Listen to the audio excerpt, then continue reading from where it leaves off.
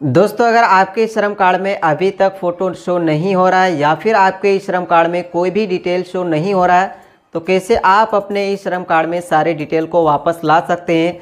दोस्तों, कुछ महीने पहले हमने एक वीडियो अपलोड किया था कि ई श्रम कार्ड में फ़ोटो नहीं शो हो रहा है तो कैसे आप अपने इस श्रम कार्ड में फ़ोटो शो कर सकते हैं? तो दोस्तों, उसमें हमने सिर्फ़ बताया था कि बहुत ही जल्द ई श्रम कार्ड में कुछ नया अपडेट लेकर आएगा। जिससे कि आपके श्रम कार्ड में सारी डिटेल शो होगा और सारे अगर इस श्रम कार्ड में फ़ोटो नहीं आ रहा तो वो भी आपका शो करेगा। तो दोस्तों फाइनली अपडेट आ चुका है कि अगर आपके इस श्रम कार्ड में फ़ोटो शो नहीं कर रहा है या फिर किसी के ई श्रम कार्ड में डिटेल शो नहीं कर रहा है या फिर किसी के श्रम कार्ड में यूएन नंबर नहीं आ रहा है या फिर किसी के श्रम कार्ड में कुछ भी शो नहीं हो रहा है तो कैसे आप अपना ई श्रम कार्ड में सारी इन्फॉर्मेशन सारी डिटेल्स को आप शो कर सकते हैं या फिर फ़ोटो शो नहीं हो रहा है तो कैसे आप अपने श्रम कार्ड में फ़ोटो शो कर सकते हैं? जो इस वीडियो में आपको लाइव डेमो करके दिखाया हूँ, पूरा स्टेप बाय स्टेप बताया हूँ, और इसमें सभी तरह का बताया हूँ कि किसी के श्रम कार्ड में अगर इन्फॉर्मेशन शो नहीं हो रहा है, या फिर किसी के श्रम कार्ड में फ़ोटो शो नहीं होता है, या फिर किसी के श्रम कार्ड में यूएन नंबर शो नहीं हो रहा है, या फिर किसी के श्रम कार्ड में नाम शो नहीं हो रहा है तो सभी को हमने स्टेप बाय स्टेप करके दिखाया है, इसलिए इस वीडियो थोड़ा लॉन्ग बन चुका है। लेकिन अगर आप इस वीडियो को देख लेंगे तो आपके सारे श्रम कार्ड में जो भी इन्फॉर्मेशन है, सारे इन्फॉर्मेशन शो होगा और आपके साथ में फ़ोटो भी शो होगा। एक हंड्रेड परसेंट है कि आपका शो होगा। तो दोस्तों, इस वीडियो को अंत तक ज़रूर देखना है, क्योंकि इसमें हम आप स्टेप बाय स्टेप बताए हैं। इसलिए यह वीडियो थोड़ा लॉन्ग बन चुका है, लेकिन अगर आप इस वीडियो को देख लेंगे, फिर आपको कोई भी दोबारा वीडियो देखने की ज़रूरत नहीं होगा। तो आशा करता हूँ कि आप लोग इस वीडियो को एंड तक ज़रूर देखेंगे। और दोस्तों, देख सकते हैं यहाँ पर हम कुछ अलग जगह में शूट किए हैं वीडियो को। कारण क्या है कि लाइट नहीं है, इसी वजह से हम यहाँ पर शूट किए हैं। तो इससे कोई दिक्कत नहीं है, बस आप लोग इस वीडियो को देख लेंगे। तो आपकी जो भी इस शर्म कार्ड में इन्फॉर्मेशन शो नहीं हो रहा है तो बड़े आसानी से आप शो हो जाएगा। तो चलिए वीडियो शुरू करते हैं। तो दोस्तों, अगर आपके श्रम कार्ड में अभी तक फ़ोटो नहीं शो कर रहा है, या फिर आपका एड्रेस शो नहीं करता है, या फिर आपका ई श्रम कार्ड का नंबर शो नहीं कर रहा है तो कैसे आप वापस ला सकते हैं? कैसे आप अपने ई श्रम कार्ड में फ़ोटो शो करवा सकते हैं? तो जो आज मैं आपको दिखाने वाला हूँ कि 100 परसेंट आपका फ़ोटो आ जाएगा। तो कैसे आएगा दोस्तों? तो इस वीडियो को अंत तक ज़रूर देखना है। यहाँ पर मैं आपको लाइव प्रूफ बताया हूँ। तो दोस्तों, जैसे कि आप सबको पता है कि ई श्रम कार्ड इसी ऑफिशियल वेबसाइट से बनाया जाता है। ये ई श्रम कार्ड का ऑफिशियल वेबसाइट है। यहाँ से आप अपना एक नया ई श्रम कार्ड बना सकते हैं। तो जो लोग अभी नहीं बनाए तो ई श्रम कार्ड कैसे बनाया जाता है तो उस वीडियो का लिंक आपको डिस्क्रिप्शन में मिल जाएगा। वहाँ से आप देख सकते हैं। तो दोस्तों, उसी तरह से हम लोग को भी इसमें आ जाना है ई श्रम कार्ड के ऑफिशियल वेबसाइट में। और इसी से आप अपना ई श्रम कार्ड में फ़ोटो ला सकते हैं या फिर आपका कुछ भी नहीं आ रहा, तभी आप इसमें कैसे वापस ला सकते हैं। तो दोस्तों, जैसे आप वेबसाइट पर आएँगे तो आपके सामने कुछ इस प्रकार से इंटरफेस आएगा। और दोस्तों, यहाँ पर एनसीओ कोड बदल चुका है तो एनसीओ नया एनसीओ कोड लॉन्च किया गया है। तो कैसा है एनसीओ कोड तो उसका भी वीडियो के लिंक आपको डिस्क्रिप्शन में मिल जाएगा, उसको भी हमने प्रॉपर बना चुका है। तो आप डिस्क्रिप्शन में देख लेना है, वहाँ से इस वीडियो को देख लेंगे तो आपको मालूम हो जाएगा कि एनसीओ कोड क्या है तो वहाँ से आपको देख लेना है, ठीक है? उसके बाद दोस्तों यहाँ पर आने के बाद यहाँ पर आपको अपना जो भी आपके आधार कार्ड में मोबाइल नंबर रजिस्टर है, उसको यहाँ पर आपको फिल कर देना है। उसके बाद यहाँ पर आपको कैप्चा मिल जाएगा। तो जिस तरह से कैप्चा दिया हुआ है, उसी तरह से यहाँ पर आपको इंटर कर देना है। कैप्चा फिल करने के बाद आपको डायरेक्टली नीचे आ जाना है और यहाँ पर आपको सेंड ओटीपी के ऑप्शन पर क्लिक करना है।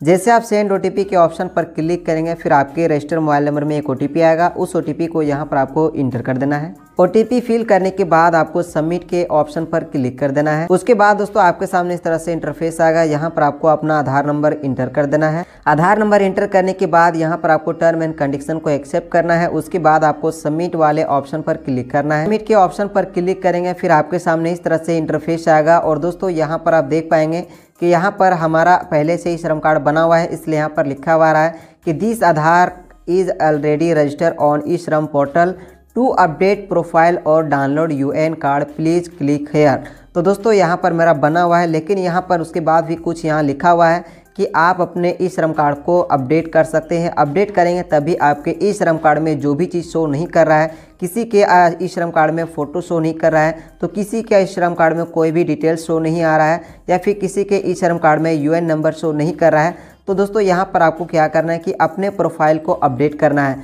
तो दोस्तों, अपडेट करने के लिए यहाँ पर आपको क्लिक हेयर वाले ऑप्शन पर क्लिक करना है। जैसे आप क्लिक करेंगे, फिर आपके सामने इस तरह से इंटरफेस आएगा और फिर से यहाँ पर आपको अपना मोबाइल नंबर फिल करना है जो आपके आधार कार्ड में रजिस्टर है। मोबाइल नंबर इंटर करने के बाद फिर से यहाँ पर आपको कैप्चा इंटर करना है। उसके बाद आपको सेंड ओटीपी के ऑप्शन पर क्लिक कर देना है। उसके बाद आपके रजिस्टर मोबाइल नंबर में ओटीपी आएगा। उस ओटीपी को यहाँ पर आपको इंटर करना है। यहाँ पर आपको सबमिट के ऑप्शन पर क्लिक कर देना है। उसके बाद दोस्तों, फिर आपके सामने इस तरह से इंटरफेस आएगा और फिर से यहाँ पर आपको अपना आधार नंबर फिल करना है। और दोस्तों, यहाँ पर देखते हैं, यहाँ पर लिखा भी आ रहा है अपडेट प्रोफ़ाइल तो यहाँ पर आपको अपना प्रोफ़ाइल को अपडेट करना है, तभी सारा चीज़ आपका शो हो जाएगा। तो फिर से यहाँ पर आपको अपना आधार नंबर इंटर करना है। आधार नंबर इंटर करने के बाद दोस्तों, यहाँ पर आप किसके माध्यम से अपना प्रोफ़ाइल को अपडेट करना चाहते हैं तो अगर आप अपना घर से ही बनाएँ, अपना ई श्रम कार्ड ऑनलाइन बनाए हैं तो यहाँ पर आपको अपना ओटीपी को सेलेक्ट करना है। अगर आपके पास आयरिस मशीन है तो उसको आप सेलेक्ट कर सकते हैं या फिर आपके पास फिंगर प्रिंट है तो उसको भी आप सेलेक्ट कर सकते हैं। तो यहाँ पर हम अपना अपडेट करना चाहते हैं ओटीपी के माध्यम से। तो यहाँ पर हम अपना ओटीपी को सेलेक्ट करेंगे। उसके बाद फिर यहाँ पर अपना आधार नंबर इंटर करेंगे। उसके बाद दोस्तों यहाँ पर आपको जिस तरह से कैप्चा दिया हुआ है उसी तरह से यहाँ पर आपको इंटर करना है। फिर से यहाँ पर आपको सबमिट के ऑप्शन पर क्लिक कर देना है। जैसे आप सबमिट करेंगे, फिर आपके रजिस्टर मोबाइल नंबर में एक ओटीपी आएगा। उस ओटीपी को यहाँ पर आपको इंटर करना है। उसके बाद यहाँ पर आपको वैलिडेट के ऑप्शन पर क्लिक कर देना है। जैसे वैलिडेट के ऑप्शन पर क्लिक करेंगे दोस्तों, फिर आपके सामने इस तरह से इंटरफेस आ जाएगा और यहाँ पर आपको दो ऑप्शन आ जाएगा। अपडेट प्रोफ़ाइल और यहाँ पर आपको मिल जाएगा डाउनलोड यूएएन कार्ड। तो दोस्तों, यहाँ पर आपको अपडेट प्रोफ़ाइल के ऑप्शन पर क्लिक करना है और क्लिक करने के बाद फिर आपके सामने इस तरह से इंटरफेस आएगा। तो दोस्तों, अगर किसी के ई श्रम कार्ड में पर्सनल इन्फॉर्मेशन नहीं आ रहा है तो यहाँ पर आपको सिंपली से आपको इस पर क्लिक करना है और क्लिक करने के बाद यहाँ पर आपको अपना पूरा फिर से यहाँ पर आपको पूरा फिल कर देना है। जैसे किसी का अगर पर्सनल इन्फॉर्मेशन में कुछ छूट गया है या फिर आपका सारा चीज़ सब कुछ सही है तो यहाँ पर आपको सिंपली से क्या करना है कि एक बार आपको अपडेट करना है। अपडेट कर लेंगे तो आपका सारा डिटेल शो करेगा। तो दोस्तों, यहाँ पर हमारा सब कुछ सही है। अगर आपका सही नहीं है तो यहाँ पर आप एडिट भी कर सकते हैं। तो दोस्तों, यहाँ पर हमारा सब कुछ सही है। तो चलिए यहाँ पर डायरेक्टली इसको हम अपडेट पर क्लिक कर देंगे। तो दोस्तों, इस तरीके से हमारा पर्सनल इन्फॉर्मेशन अपडेट हो गया। अब हमारा पर्सनल इन्फॉर्मेशन भी शो करेगा। जो आगे मैं आपको दिखाऊँगा कि शो करता है या नहीं करता है। उसके बाद दोस्तों, अगर आपके श्रम कार्ड में एड्रेस शो नहीं कर रहा है या फिर अपना एड्रेस को अपडेट करना चाहते हैं तो सिंपली से आपको एड्रेस वाले ऑप्शन पर क्लिक करना है और यहाँ से अगर आपका एड्रेस में कुछ गलती हुआ है तो उसको भी यहाँ से आप सुधार सकते हैं। जैसे कि यहाँ पर देख पाएँगे कि हमारा यहाँ पर डिस्ट्रिक्ट यहाँ पर अवेलेबल नहीं किए थे हम तो यहाँ पर हम मेरा जो डिस्ट्रिक्ट है, उसको यहाँ पर हम सेलेक्ट कर लेंगे। तो दोस्तों, यहाँ पर हमारा डिस्ट्रिक्ट छूट गया था, इसलिए हमने इसको सेलेक्ट कर लिया है। उसके बाद दोस्तों, अगर यहाँ पर आपको लग रहा है कि हमारा एड्रेस में भी कुछ गलती हुआ है तो उसको आप दे सकते हैं। तो दोस्तों, यहाँ पर मेरा एक छूटा हुआ था डिस्ट्रिक्ट तो इसको हमने सेलेक्ट कर लिया है। उसके बाद दोस्तों, फिर से यहाँ पर आपको अपडेट पर क्लिक करना है। इस तरीके से आपका एड्रेस भी अपडेट हो जाएगा। उसके बाद अगर आपका एजुकेशन में कुछ अपडेट करना है, या फिर आपका शो नहीं कर रहा है तो इसको भी आप डायरेक्टली यहाँ से एडिट करके फिर से यहाँ पर आपको अपडेट पर क्लिक करना है। उसके बाद दोस्तों इसी तरह से आपको सबको करना है। उसके बाद दोस्तों यहाँ पर आपको मेन पॉइंट आपको आ जाता है ऑक्यूपेशन एंड स्किल्स तो इसमें आपको अपडेट करना ज़रूरी हो गया है दोस्तों। अगर आप अपडेट नहीं करेंगे तो आपको दिक्कत हो सकता है। क्यों? क्या हो सकता है? कि देख सकते हैं यहाँ पर रेड आइकन में दिखा रहा है कि एन कोड चेंज करा दिया गया है। ये 25 तारीख को ही कर दिया गया था।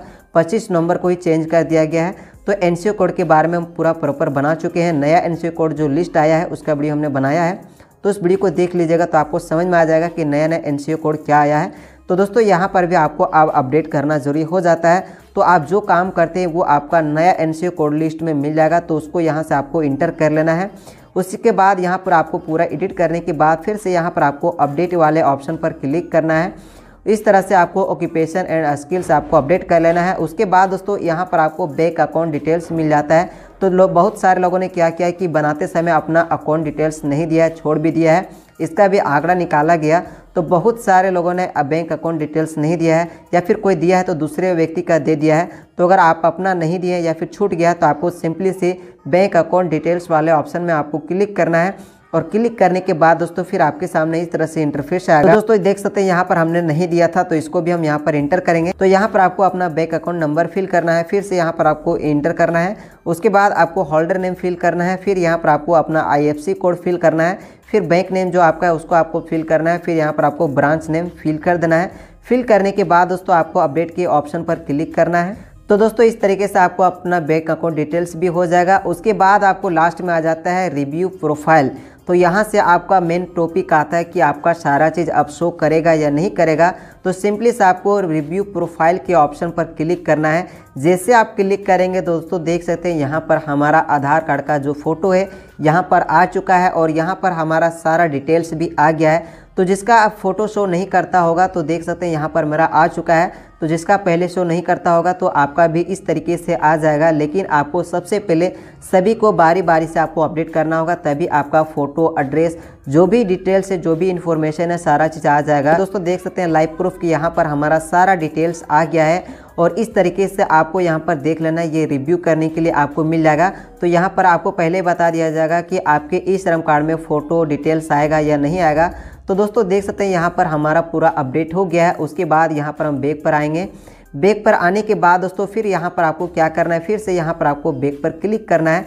बैक पर क्लिक करने के बाद फिर यहाँ पर आपको आ जाना है और यहाँ पर आपको ऑप्शन आ जाएगा डाउनलोड यू एन कार्ड। तो इस ऑप्शन में आपको क्लिक करना है। तो दोस्तों, देख सकते हैं, जैसे हमने क्लिक किया तो यहाँ पर हमारा सारा चीज़ आ चुका है। यहाँ पर हमारा फ़ोटो आ गया है, नेम आ गया है, सारा डिटेल्स आ गया है, देख सकते हैं। और हमारा यहाँ पर यू नंबर भी मिल गया है। सब कुछ यहाँ पर मेरा प्रॉपर आ चुका है। तो जिसके श्रम कार्ड में फ़ोटो या फिर आपका डिटेल्स जो होता है या फिर यूएन नंबर शो नहीं करता होगा तो दोस्तों आपको भी इस तरीके से आपको सभी को बारी बारी से अपडेट करना है। अपडेट करने के बाद आपको डाउनलोड यूएन कार्ड में आ जाना है तो इस तरीके से आपका सारा इन्फॉर्मेशन शो हो जाएगा।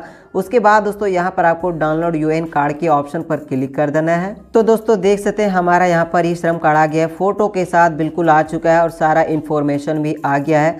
तो इस तरीके से आप अपने श्रम कार्ड में सारी डिटेल्स को आप ला सकते हैं अपने फ़ोटो को भी वापस ला सकते हैं। तो उम्मीद करता हूँ वीडियो काफ़ी पसंद आए अगर पसंद आए तो लाइक करें दोस्तों के साथ शेयर करें। तो चलिए दोस्तों फिर हमें किसी नेक्स्ट वीडियो में मिलते